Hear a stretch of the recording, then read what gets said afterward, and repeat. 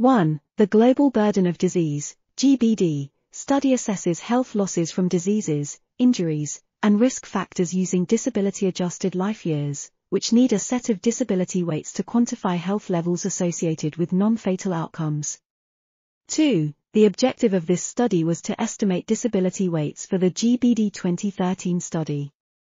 3. To achieve this, we analyzed data from new web-based surveys of participants aged 18 to 65 years, completed in four European countries, Hungary, Italy, the Netherlands, and Sweden, between September 23, 2013, and November 11, 2013, combined with data previously collected in the GBD 2010 Disability Weights Measurement Study. 4. We used paired comparison questions for which respondents considered two hypothetical individuals with different health states and specified which person they deemed healthier than the other.